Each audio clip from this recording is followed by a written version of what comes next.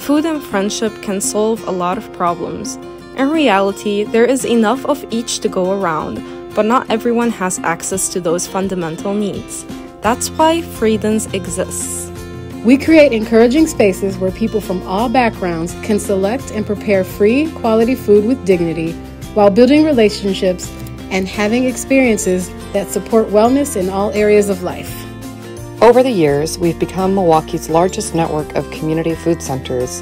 And while doing this work, we've observed one thing that we all have in common.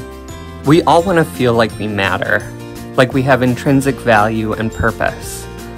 That's the ache we try to satisfy at Friedens. And it's bigger than us. It's bigger than food. Honestly, it's hard to describe how it all works. We just know that when we come together around food, love, and community, we all become stronger and more well nourished than we were before. We'd love for you to join us. Come for food, come to serve, come see for yourself. There truly is enough for everyone. Sin duda hay suficiente para todos.